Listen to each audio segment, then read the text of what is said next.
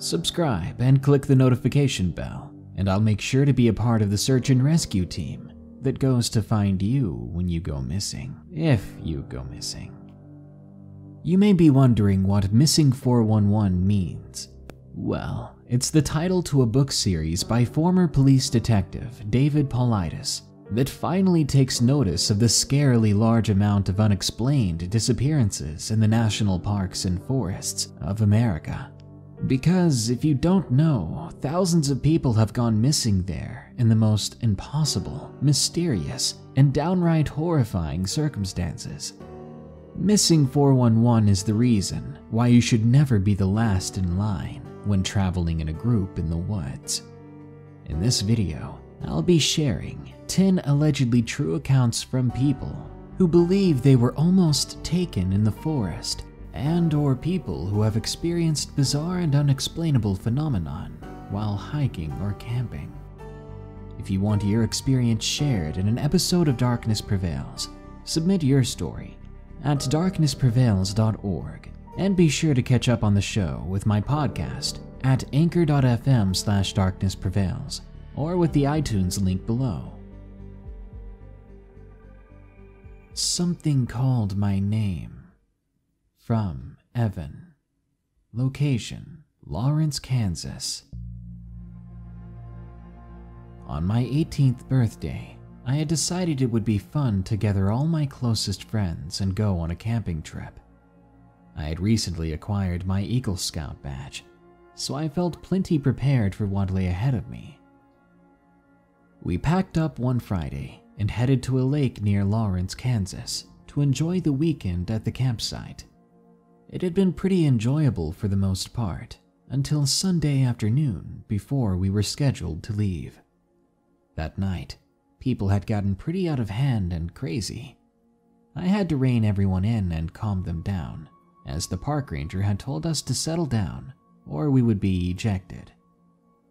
Basically, I ended up having to be the babysitter at my own birthday party.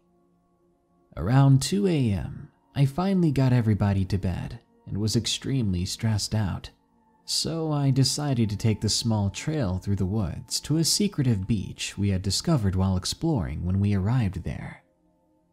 I got to the beach and lay down on the sand to gaze at the stars and listen to the water lapping against the shore. It was very tranquil and was very soothing for me until I heard someone calling my name from the woods. Actually, there were multiple voices calling my name from what I assumed was the trail. Evan. It sounded like my friends' voices, so I assumed they were out looking for me, as I had only told one person where I was going. I was about to get up and reply when something odd struck me. Some of the voices calling me were from people who did not go on this trip. Voices like my godfathers and my sisters, as well as a couple of others. After noticing this, I began to look around intensely, trying to keep all my sides covered, as I immediately got a very bad feeling. Then the voices seemed to shift from the forest to all around me, and then out to the lake. It was like the voices were being carried on the wind from the lake, calling my name over and over. Then they stopped out of nowhere, and I only heard one. It was a friend of mine who I had a crush on, and it was calling me, saying, Evan, join me in the lake. Immediately, red flags were set off as the same sentence kept getting repeated over and over, but it kept getting more distorted with each telling. It was a small distortion, but I could definitely tell it's hard to explain what it sounded like exactly because I'd never heard anything like it before. Finally, I stood up and casually backed onto the trail. I kept my front facing the water. Then, when I was behind some trees, I turned and began to run back to camp. I made it back without incident, and I did not tell any of my friends about the experience until after we left the campsite. It has been six months since the incident, and now I haven't had much happen to me. Me and the girl I heard that night, we ended up dating, but every now and then, I get the feeling of a presence in my room that only seems to go away when my dog comes to sleep with me. Strange experience on Stoodley Pike. From Anonymous. Location the border between Yorkshire and Lancashire, England.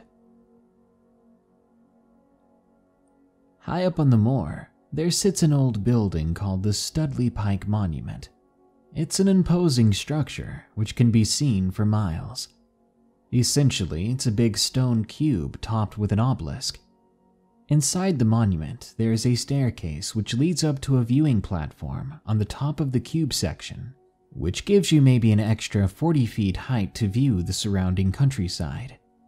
It's a place I've been to plenty of times, but recently I ended up hiking around that area with a friend who hadn't seen it before.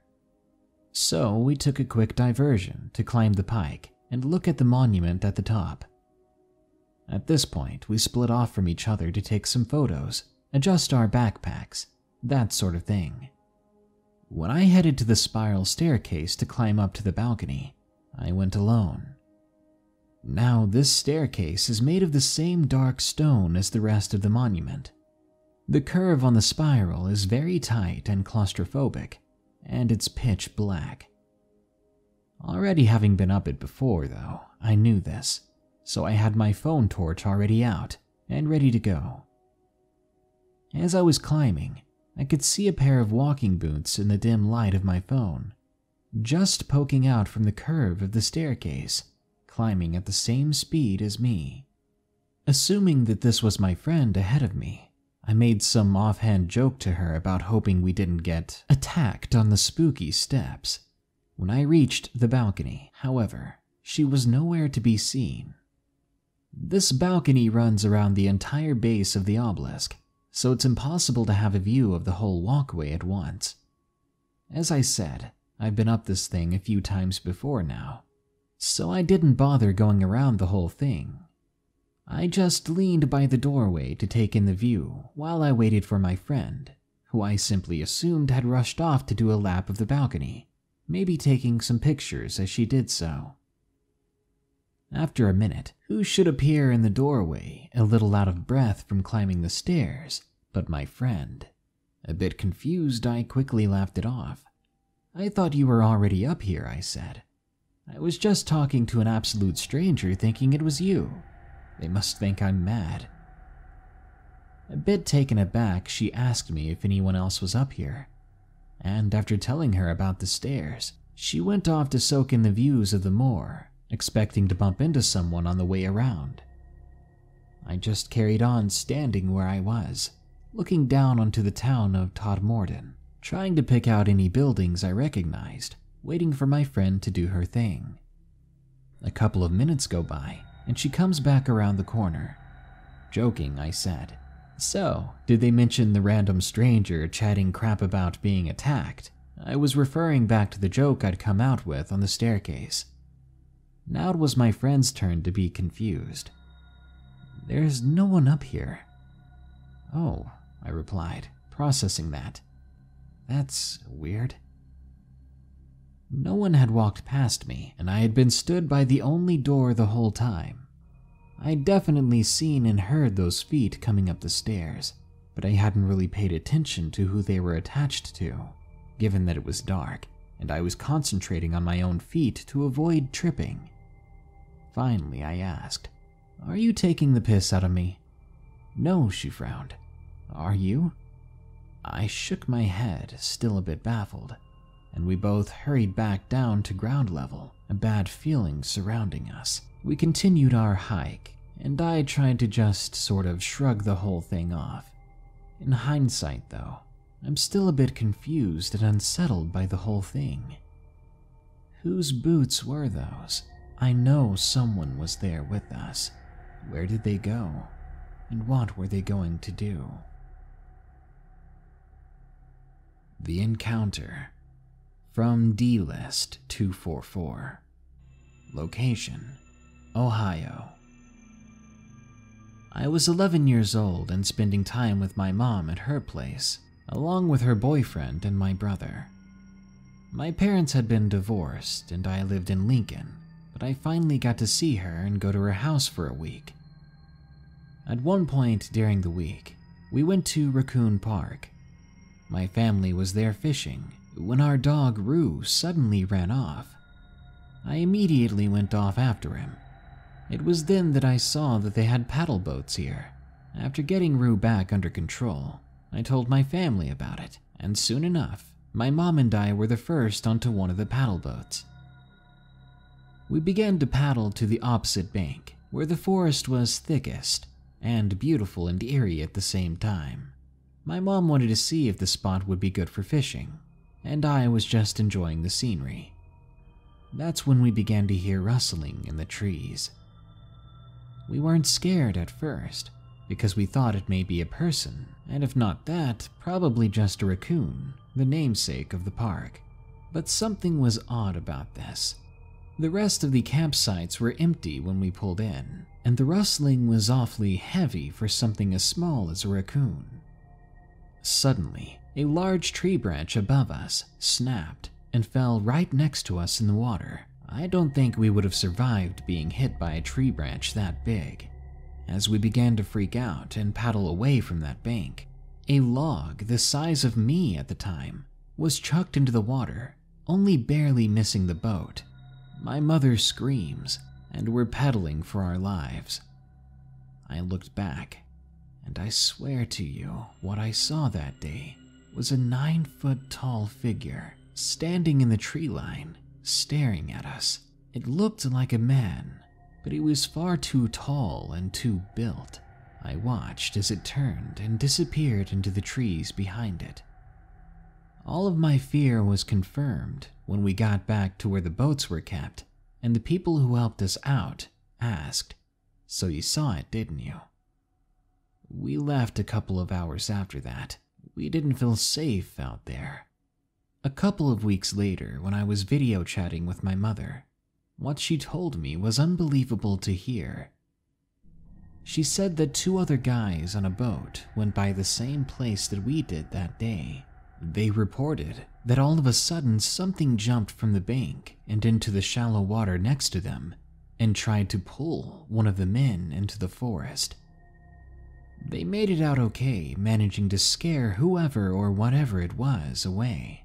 But it makes me realize we came very close to danger that day. That man would have never been seen again if whoever or whatever that thing was had its way with him.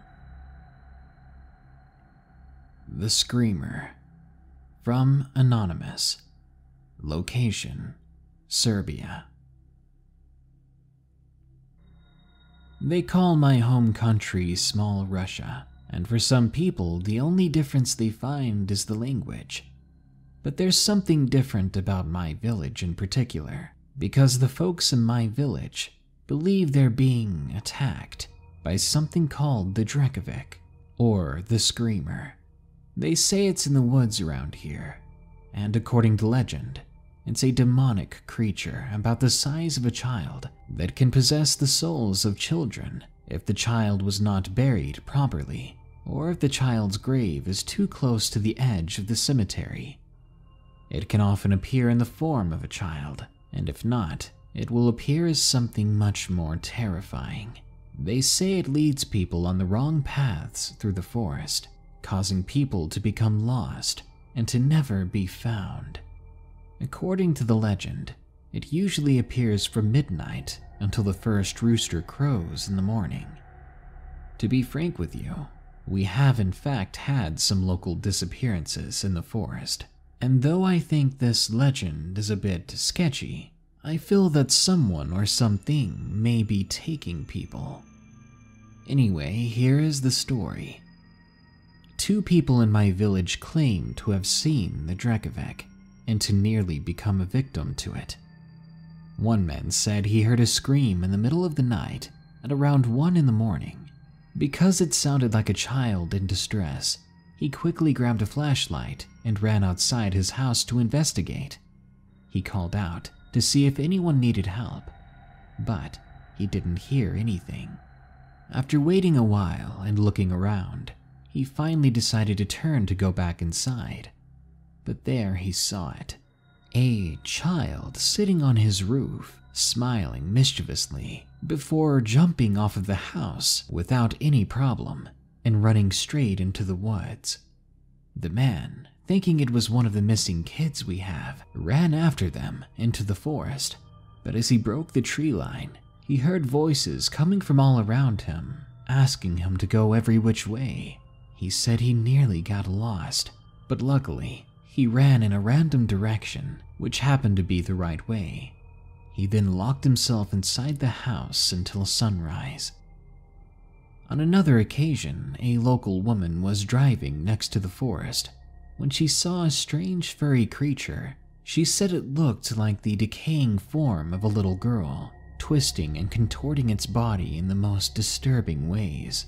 Even though she was inside her car as she passed it, she could hear it audibly laughing at her. Thanks to these now common and terrifying experiences in my village, whenever I even have to get close to the forest, I keep my distance and I make sure to keep a fast pace. The last thing I want is to hear the laughing or its scream. Strange occurrences at the ranch from Some Drummer Boy. Location Uvalde, Texas. This is another story from my uncle's ranch in Texas. It was around 9 or 10 in the morning, and I had awoken to everyone getting up from the campsite and getting ready for breakfast. But there was a problem. No one had decided to bring any food for the morning after we arrived. Out of about 17 people, 11, including the adults, went into town to get things for breakfast and dinner, leaving the rest of us at the campsite. The eldest of us was a friend we called Sasquatch. He was left in charge until our advisor returned, but he decided to go back to sleep. The reason I mention him will come into effect later. Once I was fully awake, I didn't want to waste time just waiting for everyone to come back. I decided to go for a walk, alone, because the sun was out and everything would be illuminated and easy to see. Or so I thought. I don't remember telling anyone I was going for a walk. Anyway, just a short distance from camp, there was a thick section of wooded area. According to our advisor, the branches are so intertwined there that sunlight can hardly penetrate through to the ground. The night before, we had gone on a small tour of the ranch, passing through this area which gave off a very eerie vibe, because they didn't look like trees but rather bony limbs. That was at night, though. During the day, I was standing right at the entrance, and sure enough, no sunlight was touching the ground in the area. At this time in my life, I was cautious about doing things that may have bad outcomes. But curiously, I decided to press on with my walk. I was following a makeshift trail, meandering through for a few meters when the first red flag revealed itself to me. As I walked, I felt like I was being watched. I turned around to see something interesting a relatively large coyote, but it looked rather sick or deformed. I stared with more curiosity than fear. The animal looked back at me from the other side of a fence, as if it was sizing me up.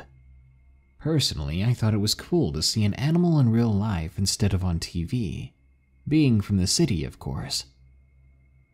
Soon the animal appeared to lose interest in me and ran off deeper into the forest. After the encounter, I resumed my walk, but when I was about halfway through the woods, I heard a really loud crunching sound coming several meters to my right.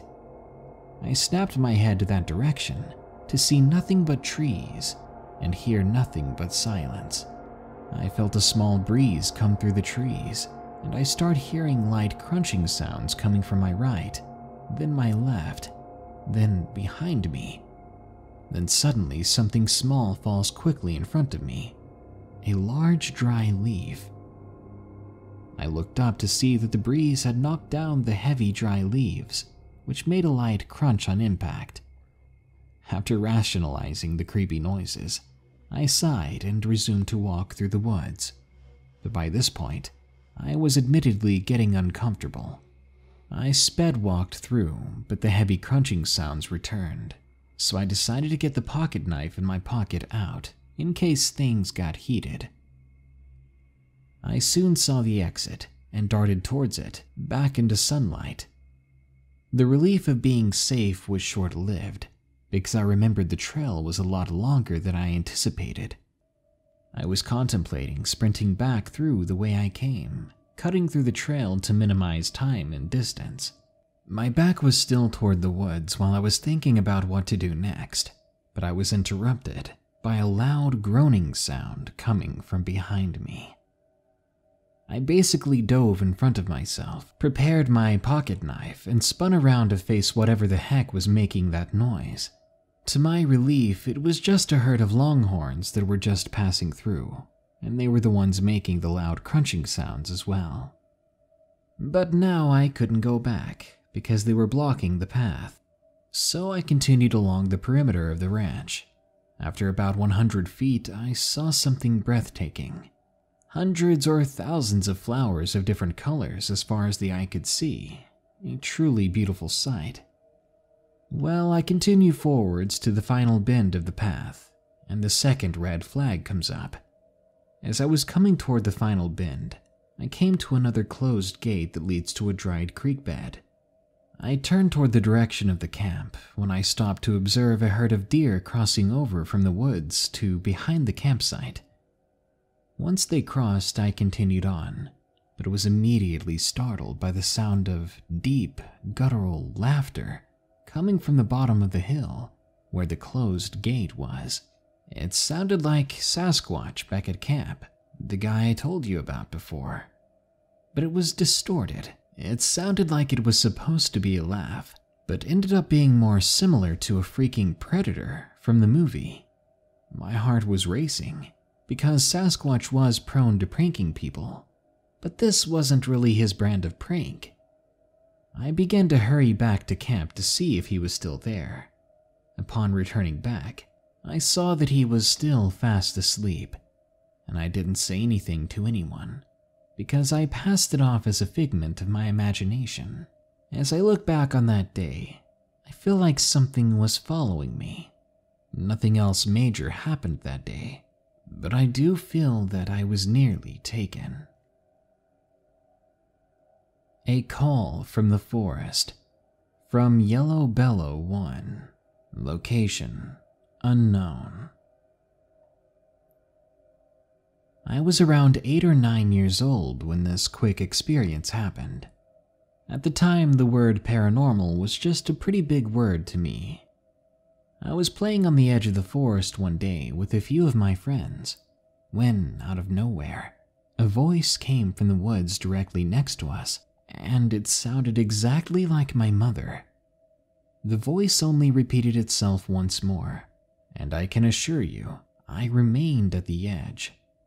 I walked the area around to see if I could see my mom in there, but there was no one in sight. I walked up into the breezeway where I yelled up to my mother shortly afterwards and asked what she had wanted. The answer she gave me made me want to run up the steps because she said she hadn't called for me at all. Years later, when I heard a few similar experiences, I now know the wisest decision was not entering those woods. That wasn't my brother's voice. From Lacrimosa. Location unknown. This occurred when I was 15 and camping with my brother and his oldest son. My brother has always been drawn to nature and prefers to be out in it as often as he can. My nephew, on the other hand, not so much. I love nature and also feel a close connection with it. This story starts with me and my nephew out gathering some good firewood and kindling. It was nearing dusk, so the light was fading, and the forest was slowly cloaked in shadows. The sounds of the forest were nearly deafening. The cries of the cicadas, the chirping of crickets, the loud hoots of a great horned owl. My nephew and I heard my brother calling us back to camp. So, as we had gathered quite a bit of stuff, we began to head back in the direction of his voice. As we got closer, I noticed that the voice sounded off. Like it was him, but at the same time, it wasn't. In addition, I noticed that our surroundings were now unfamiliar. Something wasn't right, and my gut told us we needed to get out of that area now. I dropped my firewood and placed my hand on my nephew's shoulder, who was still going forward. The following conversation is paraphrased, as I cannot remember it exactly word for word, but it was something like this We need to get back to camp now. My nephew replied, oh, Come on, don't tell me you're scared of the dark. I'm not scared of the dark, I'm scared of the things in it. The camp's right up ahead, though. No, it's not. Does anything around us look familiar to you? My nephew looked around and his face drained of color. His panic and fear set in. I was scared out of my mind too, but I was doing my best to keep it together, mostly for my nephew's sake. Where are we? he asked. We went way deeper than we were supposed to. We need to head the opposite direction of that voice. But why would my dad call us out there? Is he trying to get us lost? No, he wouldn't do that. Not at night, or not close to nightfall anyway. We both went quiet for a second and looked at each other with terror. The forest, which had minutes ago been a cacophony of sound, was now completely silent. Not even the wind moving through the trees made a sound, even though we were watching the wind blow through leaves. Then the voice came again, sounding closer than before, telling my nephew to come here now. The two of us dropped all the firewood and kindling we had and booked it back to the campsite as fast as possible. We ran back the way we came, but we heard the crunching of underbrush, dry twigs, and pine needles following us, keeping speed with us. My nephew tripped over a tree that had fallen in a recent windstorm and thus blocked the trail. I recalled having to step over it when we gathered firewood earlier. Despite how much I disliked my nephew, I knew I couldn't just leave him there for whatever was coming towards us. The forest was still silent, and the sounds of footsteps were quickly approaching. I don't know why I said what I did as the thing got closer to us. Maybe it was the adrenaline, but I remember yelling something along the lines of, You're not my brother, and leave us alone. After a few seconds and not hearing anything more but the sounds of forest, I helped my nephew up, and we walked the quarter of a mile back to camp. My brother had been worried sick about us, and had even contacted park officials due to us being missing for so long. So when we showed up back at camp, he was equally furious and thankful that we were okay though he did ask what had happened and why we had been gone so long. Turns out we were gone for more than three hours, though I swear we'd only been collecting firewood and kindling for not more than 45 minutes. When this happened, I honestly thought we were goners. I told him our story, and my brother sighed heavily, telling us that we were both very lucky to get away with our lives. He didn't elaborate as to why he said that until many years later when I had turned 18. He told me in private that what I and my nephew had encountered that night may have been a skinwalker. Up to that point, my brother was skeptical of their existence, aside from the tales of a few of his hiking buddies and park rangers he knew quite well. Needless to say, I don't go into any sort of wooded area at night if I can avoid it. Strange Encounter in the Forest. From Miho. Location Unknown. This happened in January of 2018. We went to this New Year's thing at my grandparents' house to see some relatives and to visit them, because we barely ever get to. They live in a small village with around 300 other people. Most of them are my grandparents' age. Besides a very old playground, there is a small shrine circa one kilometer away from the village. To reach it, we always have to walk through a forest. I know it sounds kind of cliche, but it's quite dark in there, even when it's still daytime. We arrived around 4 p.m., so it was already quite late, and we still had to wait for most of our relatives to arrive. My brother, let's call him Ryun for now, suggested that we should visit the shrine with the children that are already there, so that they don't get too bored. Because, honestly, there wasn't much to do at my grandparents' place. We asked around if anyone wanted to come with us, and in the end, we had about six people in total. Ryun, my girlfriend, and I were the oldest, so we kept an eye on the children who were walking with us. Ryun walked a bit behind the group, and my girlfriend and I were walking ahead. The reason Ryun walked behind us was that in this area there are a lot of stray dogs. I wanted to make sure the children were safe. When we arrived at the shrine, we prayed and then sat down on a few stones near the shrine, talking to each other while the kids played a few rounds of tag. Around the shrine area was a high wire fence so the visitors weren't bothered by animals or the earlier mentioned stray dogs. The only way to enter this area were the steps, so we didn't worry too much.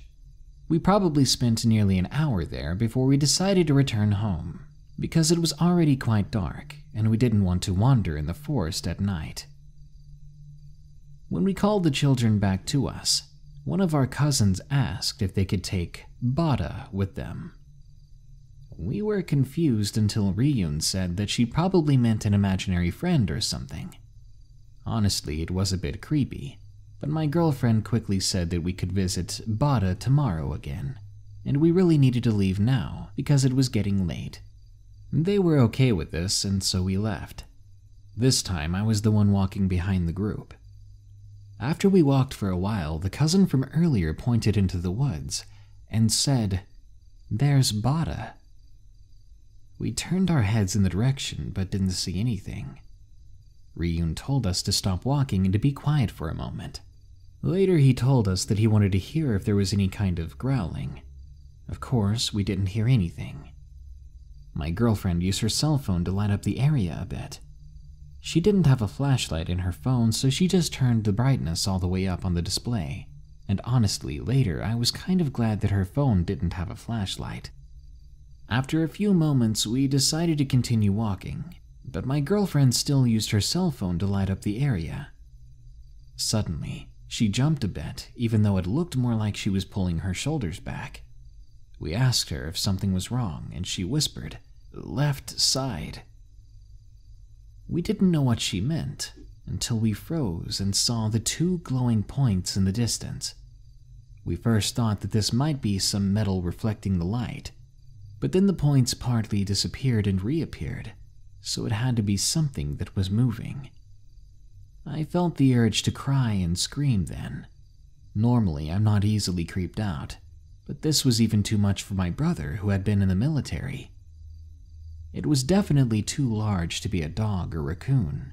When we heard that leaves were rustling like someone was walking through the bushes in our direction, all of us agreed that we should pick up the kids and get the heck out of there.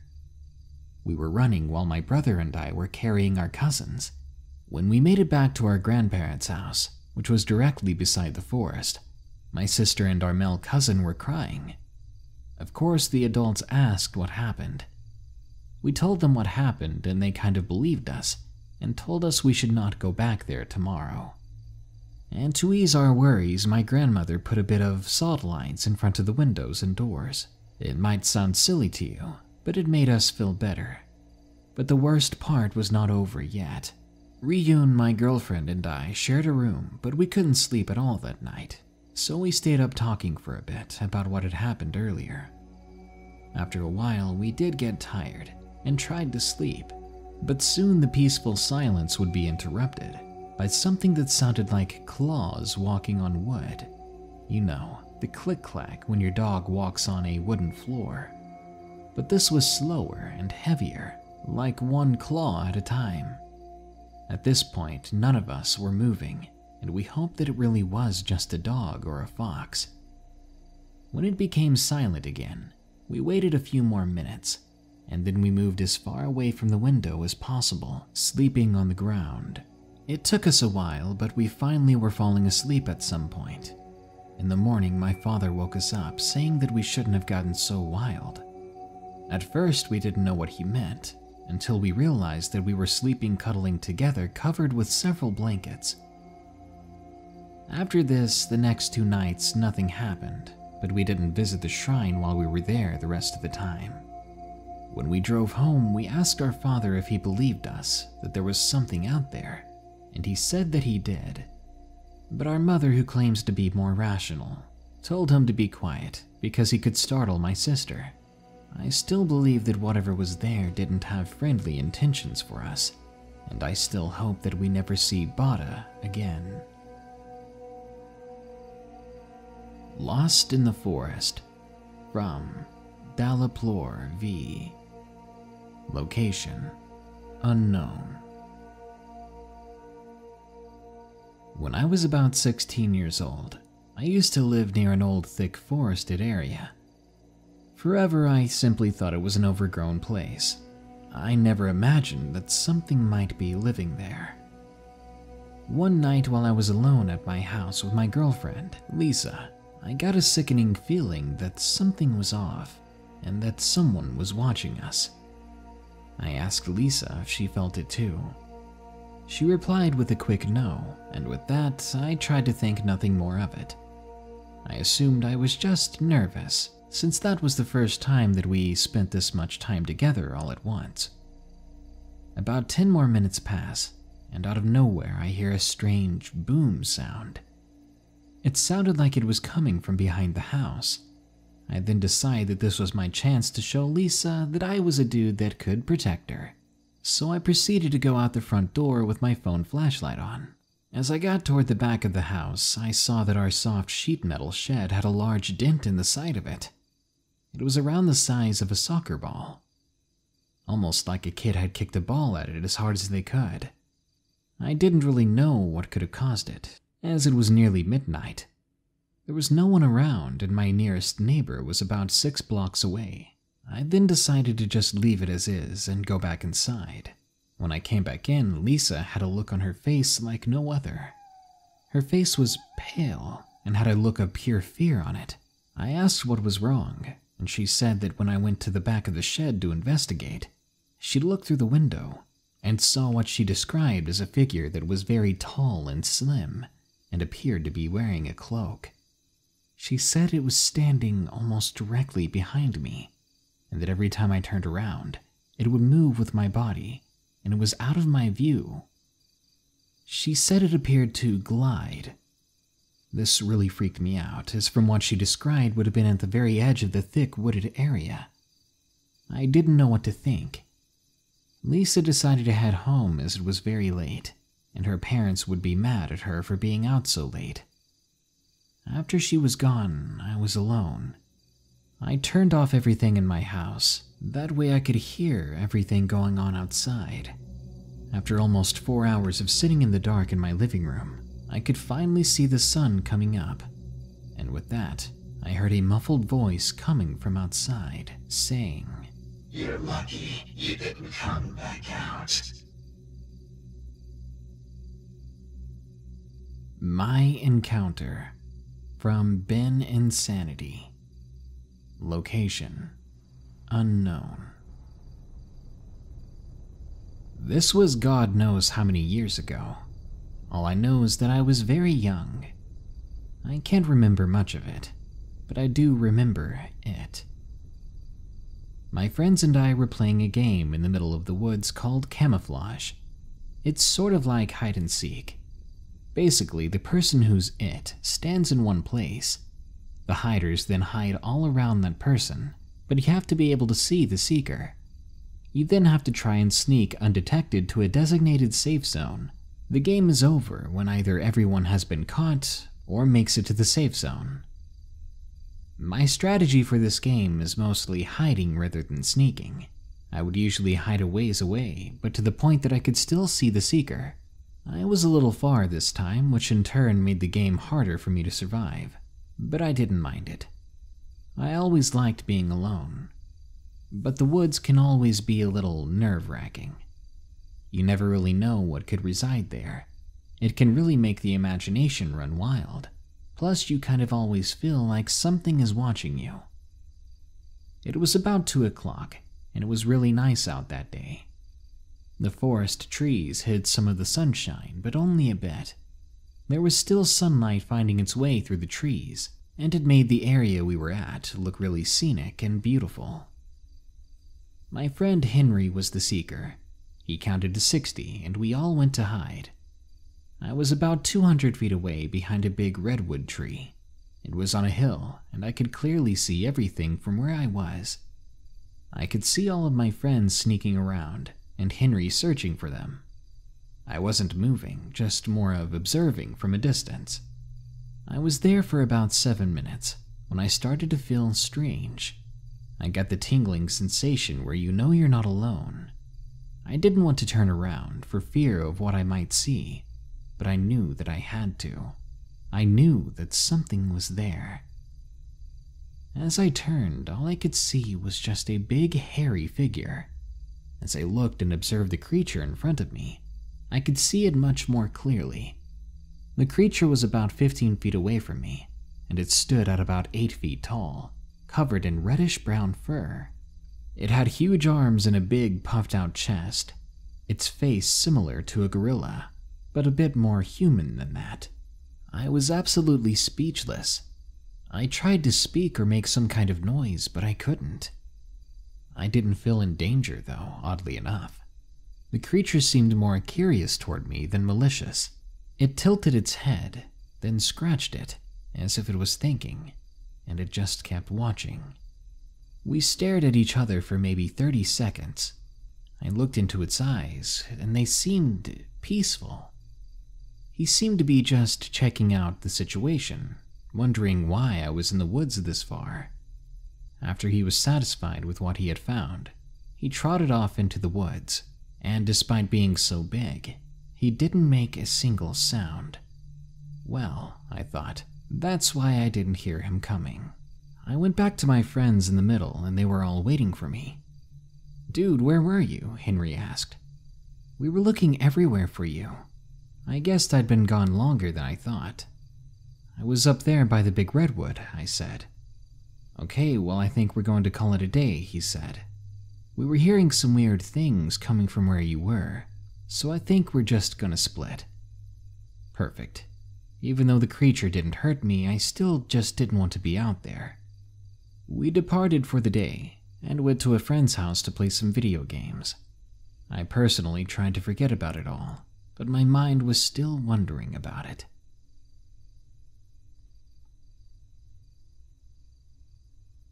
The next time you're in the woods or plan on taking a trip out in them, make sure you bring a GPS of some kind, and always tell a loved one where you're going, because the last thing you want is to get lost in the woods or taken, and no one has any clue where to start looking.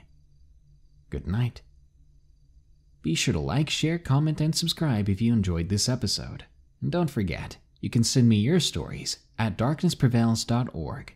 If you want to support the show, donate any amount at patreon.com slash darknessprevails. Patrons unlock ad-free MP3 access to our episodes, and they get their names in the credits at the end of these videos. Or you can click the shop button below if you're on YouTube, or just go to teespring.com slash stores slash darkness prevails to shop our Darkness Prevails merchandise. Now, as usual, here are my 5 favorite early comments from the previous video. About 10 horrifying emergency calls.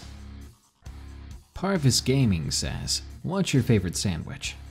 My answer is straight up. I just like plain turkey sandwiches with nothing on it but the turkey. I don't know why, I just don't like much else.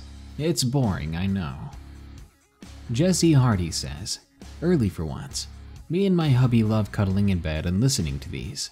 Love you, Darkness. Thanks for the love and support. I'm glad you guys can enjoy these episodes. I love that Darkness Prevails can be a household family name. We can all be scared together, I guess. Sock Person says, Yes, got the notification. Now I'm going to scare the crap out of my friends. You sound like a keeper, Sock Person. The kind of friend I'd be friends with. Ruby Trujillo says, I love these stories. They really add to my paranoia. Ugh, I know, right? As if I need more of that. Joe Garcia says, Boy, what does it take to be first? You probably gotta work at YouTube, and even then, they don't give anybody notifications anymore. So good luck with that. Well, that brings us to the end of this episode, but don't you worry, because more scary stories are always coming soon. So stay tuned. Until next time, here are the credits to my amazing patrons. Remember, stay safe out there and stay creepy, because this world is a strange one.